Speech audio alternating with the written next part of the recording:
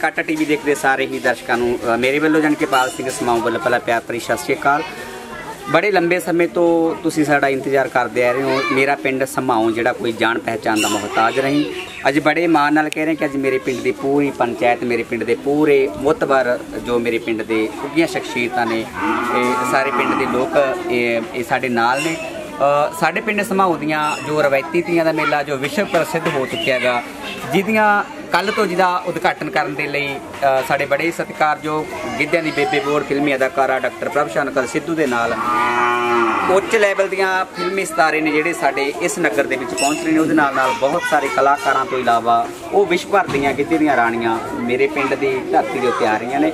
ਸੋ ਆਉਣ ਤੋਂ ਪਹਿਲਾਂ ਸਾਡੇ ਪੂਰੇ ਪਿੰਡ ਵੱਲੋਂ ਸਾਡੇ ਇਸ ਹੈਪਤੇ ਪੱਤੇ ਵੱਲੋਂ ਯਾਨੀ ਕਿ ਜਿੱਥੇ ਇਹ ਤੀਆਂ ਦਾ ਆਗਾਜ਼ ਹੋਣਾ ਤੇ ਉਸ ਤੋਂ ਉਹਦੇ ਵੱਲੋਂ ਅਸੀਂ ਸਾਰਿਆਂ ਨੂੰ ਜਿਉਂ ਆਇਆ ਆਖਦੇ ਹਾਂ, ਅਸੀਂ ਬਹੁਤ ਜ਼ਿਆ- ਆਪਣੇ ਆਪ ਨੂੰ ਭਾਗਾਂ ਵਾਲੇ ਸਮਝਦੇ ਹਾਂ ਕਿ ਸਾਡੇ ਇਸ ਪਿੰਡ ਸਮਾਉ ਨਗਰ ਦੇ ਵਿੱਚ ਪੂਰੇ ਪੰਜਾਬ ਦੇ ਵਿੱਚੋਂ ਜੋ ਧੀਆਂ ਨੇਗੀਆਂ ਉਹ ਕੱਲ ਨੂੰ ਇੱਥੇ ਆ ਰਹੀਆਂ ਨੇਗੀਆਂ ਸੋ ਬਹੁਤ ਜ਼ਿਆਦਾ ਤਿਆਰੀਆਂ ਜੋਰਾਂ ਤੇ ਨੇ। ਮੇਘਲਾ ਵੀ ਆਪਣੇ ਜੋਬਨ ਦੇ ਉੱਤੇ ਆ। ਮੀਂਹ ਵੀ ਬਹੁਤ ਜ਼ਿਆਦਾ ਪੈ ਰਿਹਾ ਹੈਗਾ।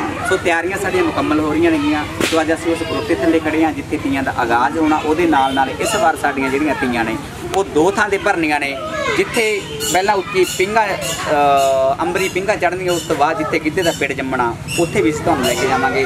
ਸੋ ਅਸੀਂ ਪੂਰੇ ਤਿਆਰ ਹਾਂ ਉਹਨਾਂ ਧੀਆਂ ਦੇ ਸਵਾਗਤ ਦੇ ਲਈ, ਉਹਨਾਂ ਸਖੀਆਂ ਦੇ ਸਵਾਗਤ ਦੇ ਲਈ, ਜਿਨ੍ਹਾਂ ਦੀ ਆਮਦ ਦੇ ਲਈ ਸਾਡਾ ਸਾਰਾ ਪੂਰਾ ਪਿੰਡ ਆ ਸਾਡਾ ਜਿਹੜਾ, ਉਹਨਾਂ ਦੇ ਸਤਿਕਾਰ ਦੇ ਲਈ ਕੱਲ ਨੂੰ ਇੱਥੇ ਹਾਜ਼ਰ ਹੋਵੇਗਾ।